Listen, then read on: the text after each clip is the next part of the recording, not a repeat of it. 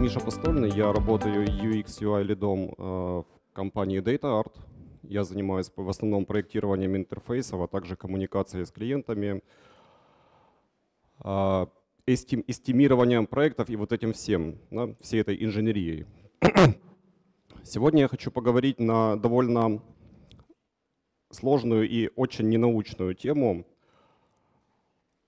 Этот доклад я специально готовил под эту конференцию, опираясь ни на что, то есть только на свой личный опыт, потому как э, тема, ну, мы поговорим про духовные вещи, да, про а, вещи не инженерные. Я это назвал спирит, потому что это нужно было как-то назвать. Что я имею в виду?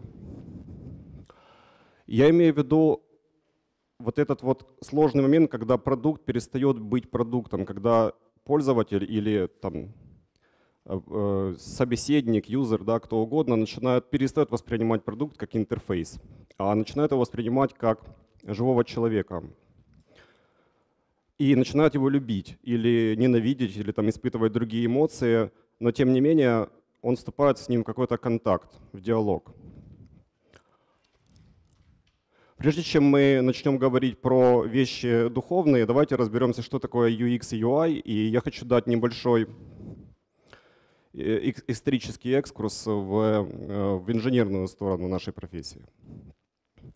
А вообще говоря, я буду рассказывать не только про дизайн интерфейсов, я буду рассказывать про дизайн в принципе, затрагивая более широкую тему. Иногда нам полезно посмотреть на себя со стороны и прочитать про себя со стороны. Википедия дает описание дизайна как проектирование эстетических свойств промышленных изделий. Такое довольно циничное, сухое описание. Из этого мы можем сделать определенные выводы, базируясь на этом описании, что не бывает дизайна без промышленных изделий. То есть, в принципе, пока нет какого-то производства, нет никакого дизайна. А, один из э, первых э, образцов промышленных изделий в дизайне, в принципе, это книгопечатание. Книги, э, в принципе, по своей сути, они должны быть растиражированы для того, чтобы донести информацию для большего количества людей. Поэтому мы тут видим одно из самых древних промышленных изделий э, предметного дизайна под названием литера. А однокоренное слово со словом letter, буква. И некоторые термины, которые мы используем до сих пор в типографике, позаимствованы отсюда. Например, кегель — это высота вот этой самой литеры. Литеры нанизываются на спицы, и таким образом составляется страница текста и начинает печататься. Дизайнеры-типографы, конечно, наши отцы. Мы у них э, учимся, и несмотря на очень а, ограниченное поле деятельности, а, у них очень большая история, и они цитируют друг друга. И вот примеры современной типографики, мы видим, насколько э, сильно чувствуется диалог между мастерами книгопечатания древности и современными дизайнерами. Далее Википедия немножко исправляется и говорит о том, что дизайн — это решение более широких социально-технических проблем в коммуникации, функционировании производства, потреблении и существовании людей в предметной среде. Тут первый раз э, мы видим слово «коммуникация», это для нас ключевое слово. Поэтому, в принципе, мы можем сказать, что дизайном является вот такая наскальная живопись, потому что она решает средства коммуникации — и живописью вовсе назвать нельзя. Каждый символ строго выполняет свою функцию. И символ спроектирован таким образом, чтобы его мог повторить почти каждый житель племени, для того, чтобы донести одну мысль э, до другого члена племени. Ну, более или менее всем понятно, что Святой Себастьян не является предметом дизайна. Например, один из первых э, дизайнеров э, вообще в мире, это художник Анри Тулуз-Лотрек, который пришел из живописи. Он рисовал э, танцовщиц в клубе Мулин Руж э, и делал это для своего эстетического удовольствия. Но в один момент э, руководство клуба Мулин Руж попросило его заняться рекламой. И это как раз совпало с широким развитием шелкотрафаретной печати. Поэтому мы можем видеть эволюцию Анри Тулус-Лаутрека от живописца к дизайнеру. Это, в принципе, все еще не дизайн в классическом понимании слова, но это уже предмет, который решает определенные задачи, функции и может быть растиражирован. Но главная дата для нас с вами – это 1918 год. Это год, когда заканчивалась Вторая, Первая мировая война, и Европа была вся в руинах, и Европа переживала глубокий экзистенциальный кризис и посттравматический синдром. И Европа искала новые смыслы во всем, в том числе и в выразительном искусстве. А окончание Первой мировой войны совпало с широким развитием промышленной деятельности, технической революции и так далее, потому что вся эта военная машина по производству оружия уже была разогнана на полную мощность, ее невозможно было остановить, и вся эта машина переформатировалась на производство предметов. И в этот год возникла школа Баухаус. Баухаус — это то, что определило понимание дизайна на ближайшие годы, вплоть до сегодняшнего дня. Баухаус существовали с 1919 года по 1933 в Германии, и э, они работали над, не только над предметами, над архитектурой, они работали и над определенной декларацией того, что они делают. Они это назвали манифестом. Манифест э, Баухауса состоит из многих пунктов, там есть описание целей, задач, подходов. В частности, они э, провозгласили единство формы и функции, провозгласили максимальный рационализм, отказ от любого декорирования. То есть любая вещь, которую мы видим, будь то архитектура или предмет, предмет, ну, или, там, предмет искусства или промышленного дизайна, должен определяться своей функцией. А, вот, например, э, мисс Ван Дероя спроектировал свой дом, и мы можем, это начало века, мы видим, что в принципе такой вот точно дом, такая же точно архитектура могла появиться сегодня, и она появляется сегодня. То есть мы все живем в парадигме того дизайна, который придумал Баухаус. Это тоже Баухаус, наш Газпром, который мы так все нежно любим. И он построен по таким же принципам. Это чистый функционализм. В Советском Союзе он назывался конструктивизмом. Чуть позже, после Второй мировой войны, э, принципы Баухауса были развиты швейцарской школой типографики. И тут мы видим нашу любимую Хельветику. А, и тут мы видим модульные сетки и все то, что мы сейчас используем в проектировании интерфейсов и в целом в, в дизайне полиграфии.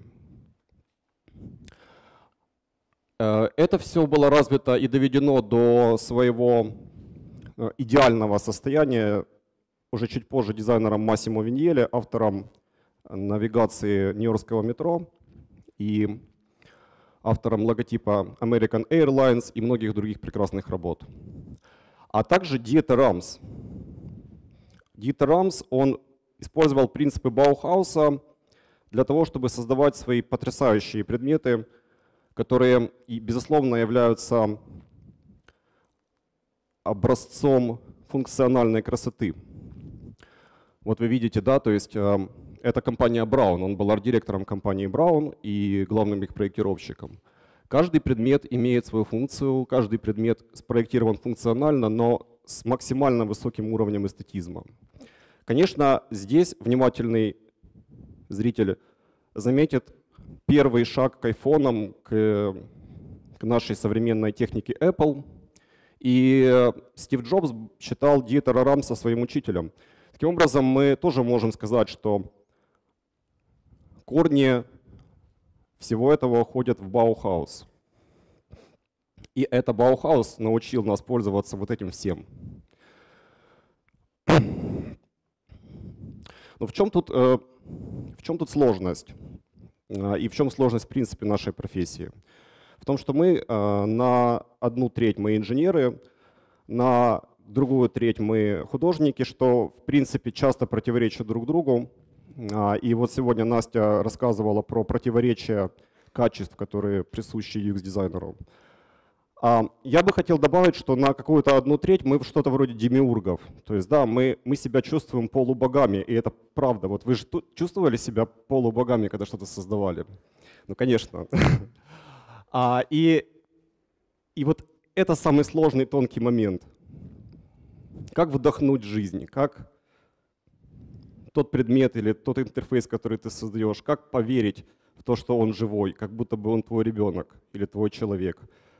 Как впустить его в общество так, чтобы он там развивался и жил по законам этого общества и не был, не был обузой или, не знаю, был ей, но в любом случае, чтобы он развивался. Говоря о персоналиях, э, мы можем сказать, что Вальтера Гропиуса вспомнить, это директор, первый директор школы Баухаус, которого позже сменил Мис ван дер Роэ. И он спроектировал кампус для своих студентов, и они жили в этом кампусе, и таким образом, то есть директор их школы создал ту среду, в которой они находились. Это был выдающийся человек и большой философ. И, собственно, его цитата, которая подтолкнула меня на создание э, этого доклада или вообще в принципе над размышлением на эту тему, это архитектура начинается там, где заканчивается инженерия, говорит Вальтер Гропиус. Это отец функционализма. То есть как это? Ведь инженерия же неотделима от э, архитектуры, ведь форма и функция едины. Но тем не менее, мне кажется, что, или я не понимаю эту цитату, но мне кажется, что Вальтер Гропиус говорит про спирит. Вот здесь вот. Давайте же попробуем разобраться, что такое спирит. И мы сделаем небольшое упражнение, которое а, будет очень субъективным. Мы попробуем придумать те техники, с помощью которых можно обмануть нашего пользователя и заставить его поверить в том, что у нас наш продукт является одухотворенным, что в нем есть душа. Ну и сразу с места в карьер мы начнем с сакрального искусства, а, которое нам раскрывает первое в мире искусство, которое нам раскрывает одухотворенность, да, естественно. Вот здесь вот э, есть одна странность. Возможно, она незаметна сразу, но а, эта странность э, легла в основу, в канонические основы иконописи. Эта странность называется обратной перспективой. Ну, то есть мы все знаем, что предметы по удалению от зрителя сокращаются, уменьшаются в размерах. Но иконописцы придумали обратную перспективу для того, чтобы спровоцировать зрителя на диалог. Для того, чтобы заставить зрителя почувствовать, что на него с той стороны иконы смотрит нечто. То есть как будто бы он является предметом, который удаляется, а не он видит предмет, который удаляется. Таким образом, нам показывают, что на тебя смотрит какое-то высшее существо. Бойся там, или радуйся. А вот эта вещь — это как вы думаете, что это за ядерный реактор? Это кафедральный собор Рио-де-Жанейро. Он тоже провоцирует нас на определенный диалог с самим собой и с этой, с этой архитектурой. Но ведь странно, вы же не будете вести диалог с неодушевленным предметом, да? Поэтому вы же не сумасшедший. Поэтому провоцирование на диалог с самим собой или с предметом искусства является одним из хороших способов одухотворения своего дизайна. В чем здесь хитрость? Э, это очень похоже на э, принципы иконописи. Хитрость здесь в том, что этот канонический собор поделен на вот такие вот секции квадратные. И эти секции уходят в перспективу. Но архитектор эти секции вытягивает по мере удаления от зрителя. И конус, наклонен, наклоненные стены усиливают этот эффект. И тебе кажется, что ты находишься в каком-то пространстве, которое бесконечно высокое. То есть это потрясающе, это одна из самых сильных вещей, в которых я был. А, и вот тут прямо ты понимаешь связь с Богом, вот, вот в этом месте. Или, ну, как, назовите это как угодно. Но, а, тем, и, кстати говоря, по, четыре, по четырем стенам здесь расположены витражи с некими там, э, библейскими мотивами. И э, вы видите так называемое парящее распятие, которое отбрасывает тень на одну из стен. Конечно, э, эта вещь провоцирует на диалог с самим собой. Давайте вернемся к более мирским темам. А, выдающийся плакатный дизайнер Игорь Гурович, который а, одухотворяет свои вещи по-другому. Он нарушает все принципы, все правила, все законы, нормы, догмы, все законы композиции и говорит с нами на каком-то совершенно фантастическом, инфантильном, очень ярком языке. Он создает вот такие плакаты. Что ты делаешь? Зачем?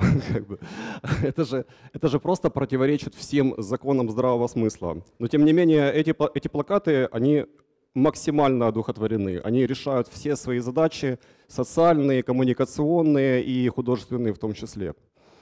То есть нарушение законов и догм, если это оправдано чем-то, да, каким-то бэкграундом определенным, это тоже очень сильный инструмент, которым не, ну, нельзя злоупотреблять, но он работает.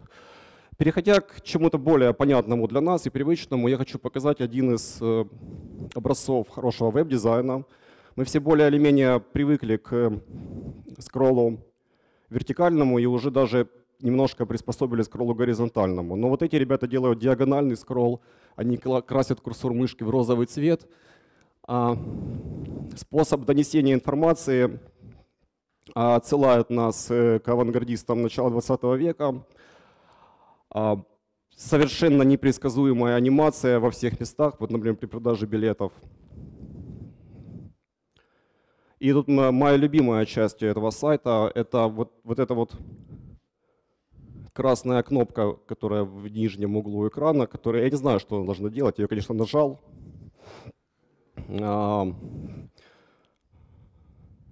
Мне сказали, приготовься, 3, 2, 1. Потом мне выдали какую-то системную ошибку. ну, я не знаю, может, это был сбой. Но мне понравилось, что вот это все — это мышка. То есть я двигаю мышкой. Это все мой курсор мышки.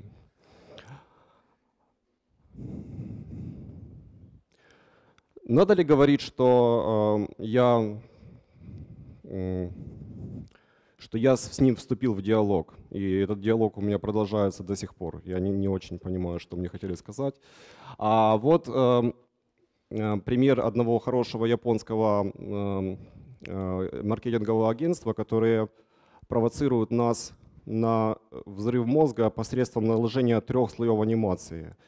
Мы все понимаем, что существует анимация линейная, вот она просто, когда мы ничего не делаем. Но когда мы начинаем двигать мышкой, на линейную анимацию накладывается второй level анимации с движением мышки, а на скролл накладывается третий level анимации. И каждое состояние курсора на экране, совмещенное со скроллом и совмещенное с линейной анимацией, рождает уникальное движение, которое невозможно воспроизвести. То есть каждый раз, когда вы просматриваете этот сайт, вы сами создаете анимацию, которую невозможно повторить второй раз. А, одна из техник, которую можно вспомнить, при, когда мы говорим про одухотворение нашего дизайна, это техника глобальных проектов. А, совершенно неприменимая вещь в нашей практике, потому что мы аутсорсеры. А, но если мы продуктовщики вдруг, и если мы делаем свои проекты, мы можем это применять вполне. А, это Манфред Эйхер, он не дизайнер, он один из продюсеров и основателей одного музыкального лейбла ECM, называется Edition of Contemporary Music, который специализируется по записи такого скандинавского джаза, и они собрали под своей крышей выдающихся музыкантов. Манфред Эйхер существует на рынке уже 30 лет. А, это логотип его фирмы. Неплохо, да? И они создают вот такие обложки для своих пластинок. Вот такие обложки. Им совершенно все равно, кто там записывается, какая у него музыка. И вообще, твое мнение не интересует. Если ты пришел э, записываться на ECM, то дизайнеры, которые работают там 30 с лишним лет, нарисуют тебе такую обложку.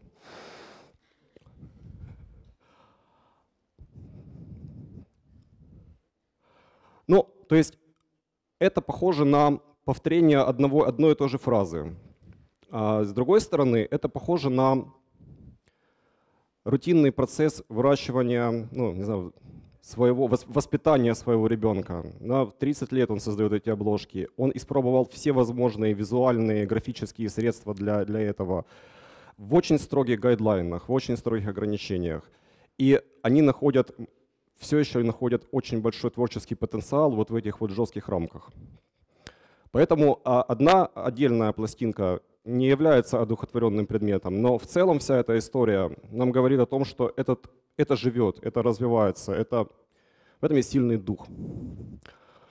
Петр Банков, основатель журнала «Как» и выдающийся дизайнер, делает по одному плакату в день, вне зависимости от того, там идет метеоритный дождь на улице или температура у него 39,5, он все равно делает по одному вот такому плакату в день в течение многих-многих лет. Ну, они немножко разные по своей, по своей выразительности. В частности, эти плакаты театральные. Это а, единственный дизайнер из ныне живущих, э, который при жизни постоянно экспонируется во французском Лувре. Э, то есть, если что. А вот этот способ – это способ завлечения в игру. Ну, в принципе, это очень простая вещь, я имею в виду простая по своей реализации, ну, не, не, не по технической реализации, а по концептуальной. Когда тебе предлагают какой-либо интерактив, тебе предлагают сыграть во что-то, то ты уже начинаешь чувствовать, что с тобой, в принципе, ну, общается какое-то осмысленное существо. Ну, неважно, вот они придумали такой интерактив. Это, я не знаю, я нашел этот пример довольно быстро. Вы можете найти тысячу других примеров. Тем не менее, да, вас с вами играют. И это кайф. Это кайф.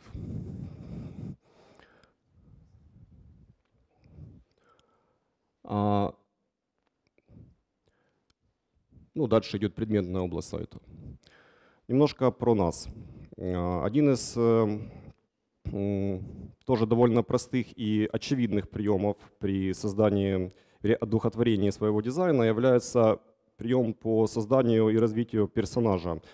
Вот сайт э, DataArt, мы его делали со Славой, который принимает резюме для того, чтобы их там обрабатывать и давать рекомендации. Вот э, тут мы видим эту уточку, которая ну, она как бы плывет и рассказывает нам какую-то историю да, про этот сервис, причем она плывет в две стороны, можно скроллить вверх-вниз. Вот э, уточка, а, она как бы готова съесть ваше, ваше CV, и она вас очень любит. Я вот показал, как это работает э, на полном флоу, и мне сразу же написали из DataArt, типа, что? Обработать твое CV? Спасибо, уточка улетела.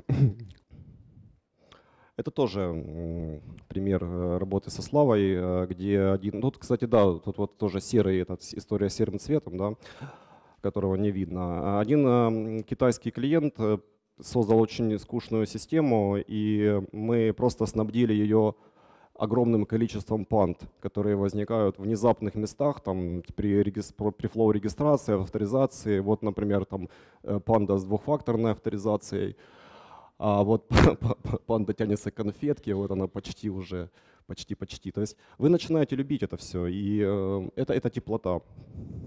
Вот панда съела письмо, потому что e-mail не верифицирован.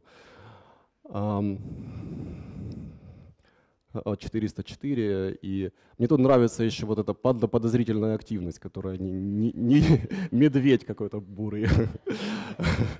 Вот, как бы. А, в общем, это это просто любовь, это любовь, да. Это не наша работа, но это тоже про персонажей. Про персонажей, которые... Оп.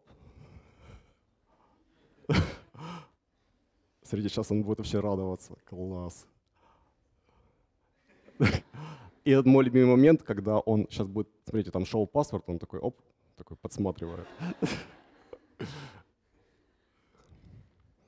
Это же ведь не сложно, да? То есть э, вот это спирит, это не UX и не UI, потому что если мы говорим в классическом понимании UI, э, мы применяем стили к нашим каркасам, мы их раскрашиваем. Мы, ну, то есть, да, это можно сказать, что это UI, но это что-то более тонкое. Это то, что нужно чувствовать и развивать в себе, на мой взгляд. Не, не во всех проектах, не дай бог. А вот, например, Приватбанк нам говорит, вы действительно хотите отменить подписание платежа? Да, отменить.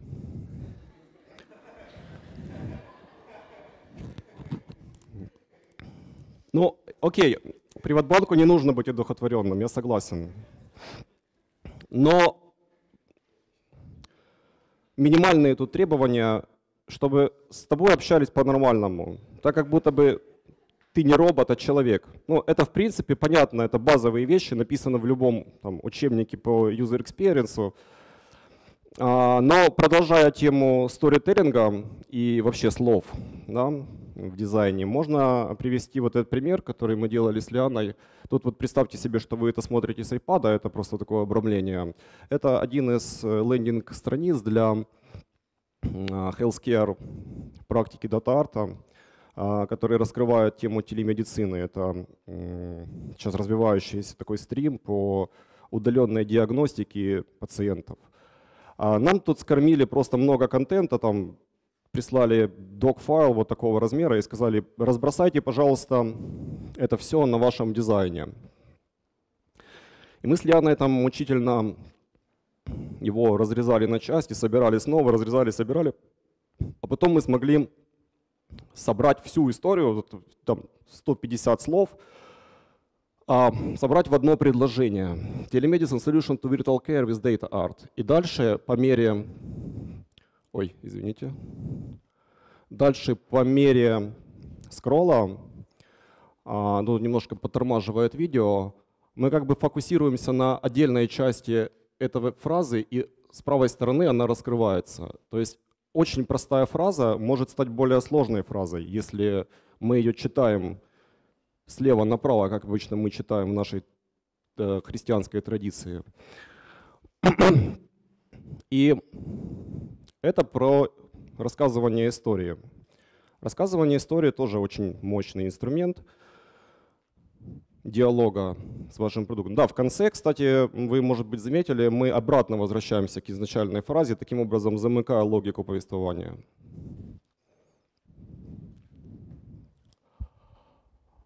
А, Стефан Загмайстер, один из э, выдающихся дизайнеров современности и больших провокаторов.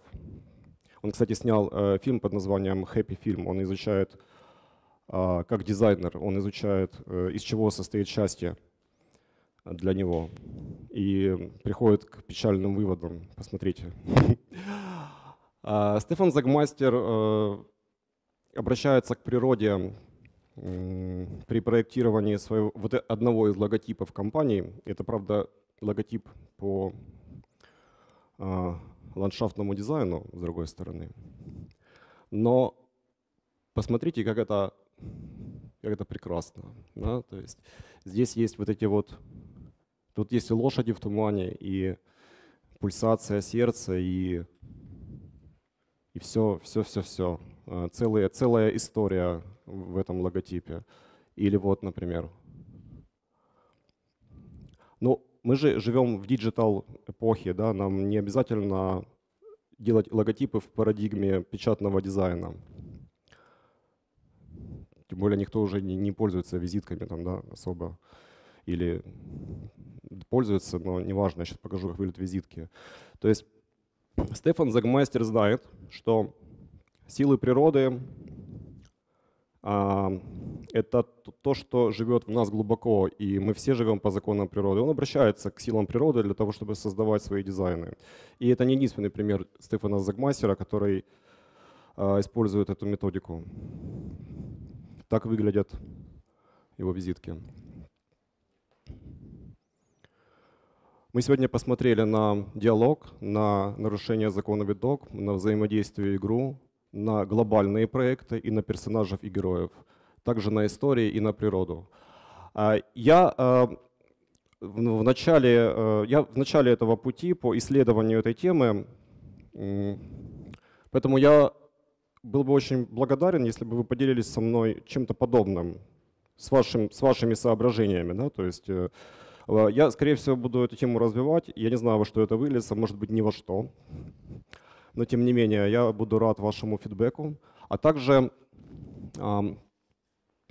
также я ищу практиканта в компанию DataArt. Пожалуйста, пишите мне на этот адрес и присылайте свое портфолио, если вам это интересно. А, спасибо за внимание.